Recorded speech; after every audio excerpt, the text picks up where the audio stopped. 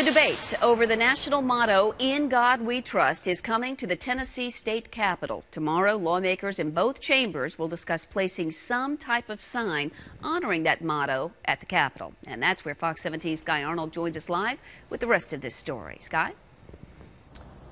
Well, Stacy, as of now, there's no definitive plan where they're going to put this sign, but the thought is it could go. Some would like to see it behind these doors here in the tunnel that leads from the state capitol over to Legislative Plaza across the street. Now, the bill sponsor says this is something that should have been proposed a long time ago because here at Tennessee we already have signs honoring agriculture commerce as the state's motto. Every day, lawmakers, state employees, and even lobbyists use this tunnel to get from the Capitol to Legislative Plaza.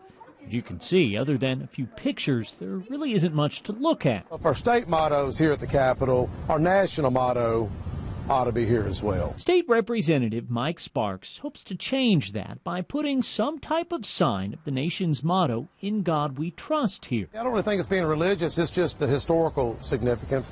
I'm a big history buff. Historically speaking, In God We Trust has only been the national motto since 1956, though it has been used on coins since the 1860s.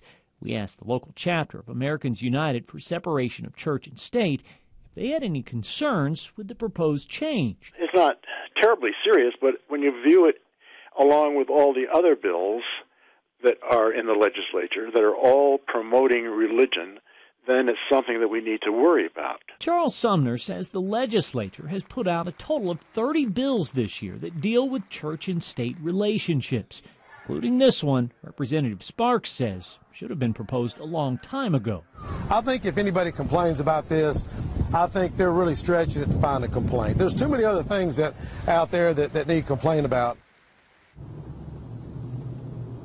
Now, the cost to put up this sign is estimated at $7,500, but you won't be paying for it. Representative Sparks is planning, if the bill passes, to raise that money privately. Also, we should mention his bill's number is 1776. It's coincidental, he says, but appropriate. We're live at the state capitol. Sky Arnold, Fox 17 News.